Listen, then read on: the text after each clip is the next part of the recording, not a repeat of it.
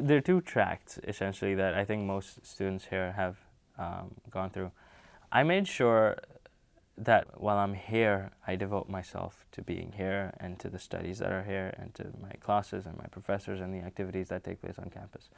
And they're enough and they're varied enough so you don't think about anything outside of this place while you're here. But at the same time, I think I made a very good decision to leave for two semesters. The first that I did was in BGIA in New York City.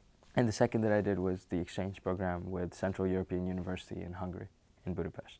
It, it taught me a couple of things. One was that um, it might seem that we're isolated here, but especially with how the Center for Civic Engagement's been working, I think BARD is truly global in its scale in the sort of campuses that it has in Kyrgyzstan or Palestine, for example.